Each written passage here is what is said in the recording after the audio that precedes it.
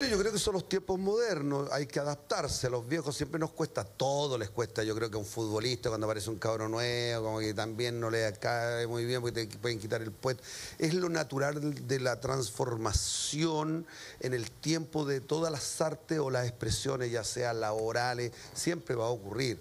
A los viejos nos ha costado, los digo viejos porque llevo 31 años en esto, adaptarnos a, este, a estas nuevas plataformas humorísticas, pero eh, tiene que ser en conjunto, así como ellos han tenido, que, han, tenido, han tenido que aprender a respetarnos, porque no, no seamos inocentes, o sea, los cabros entraron con una actitud bastante prepotente al principio, pensando que habían descubierto la pólvora, y luego descubrieron de que la cosa no es así, que para, para ser quien uno es en la contingencia hay una historia.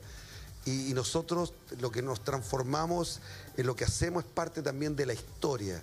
O sea, yo lo que soy es parte de aquellos comediantes que, que estuvieron antes, que yo, de los cuales se transformaron en mi motivación, se transformaron en el camino a seguir. Yo partí imitando a muchos humoristas y bueno, pero uno parte con una, con una mirada siempre desde el pasado. Por lo tanto, en esta, en esta eh, postura ¿o cierto?, de, encontrarnos con estos dos mundos, como que costó un poquito, pero hoy en día ya eh, está asumido por ambas partes que la renovación y lo único que uno espera es que esta renovación esté a la altura de lo que la gente y el público necesita, porque el público hoy en día está más exigente y quiere espectáculos que sean realmente de buen nivel. Oye, eh, ¿pide respeto porque no lo hay? Porque te no, juro que me entender que cuando, cuando eh, nacen estos nuevos comediantes, llegan los stand-up comedy, como que llegaron a parame a chora, aquí te las traigo Peter, como tratando de desconocer un poco el humor que se estaba haciendo desde hace 30 años hasta la fecha. Entonces lo que él dice es cuando, claro, ellos llegaron como un poco eh, arrasando, soberbios, y se dan cuenta que finalmente el humor que eh, se hace hoy día en nuestro país también es consecuencia de lo que ha sucedido en los últimos años en cuanto a la escena humorística. O sea, en el fondo no se puede desconocer una cosa con la otra. Mm. Es como él, dice, yo partí imitando a algunos humoristas y yo soy quien soy hoy a partir de referentes que tuve en el pasado. Claro, ahora yo me da la impresión que los nuevos humoristas, los de stand-up, no miran tanto a los humoristas chilenos con una tremenda carrera como el Bombo Fica, que ha sido un monstruo, te pasaste.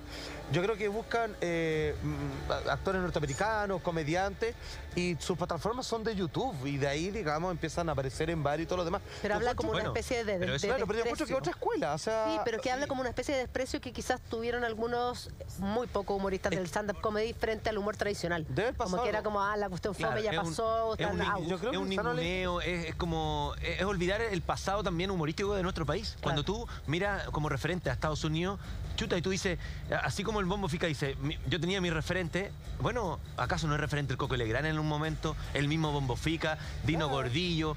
Entonces, es, como una, es como una mirada, Álvaro Sala también, es una mirada eh, agrandada de los cabros chicos de, de, 15, de 20, que, que, si bien es cierto le ha ido muy bien, pero no pueden desconocer tampoco la historia la historia de humor pero no sé, que yo, hay como si la Fer, así como si un día no canta una canción de Inti que haga lo que quiera, o sea, y si le va bien, perfecto. Yo encuentro que Bomba Figa es, como digo, es un monstruo, genial, pero no sé por qué quiere reconocimiento.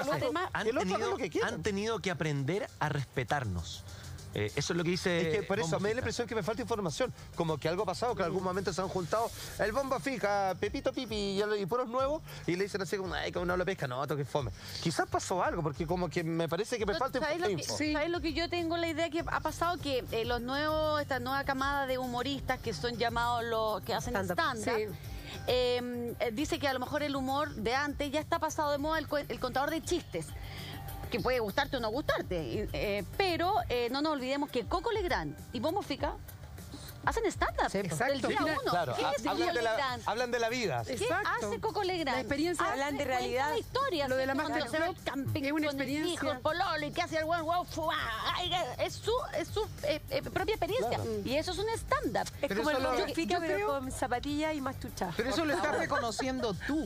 pero lo reconocen los nuevos. Yo, es, es la parece que eso es lo que dice Salfa, que ellos tienen referente a los de afuera. Pero basta con que vean su propio referente, que es Coco Legrand. El humor ha cambiado crítica, yo creo que la crítica de los nuevos humoristas es más, bien desde el contenido.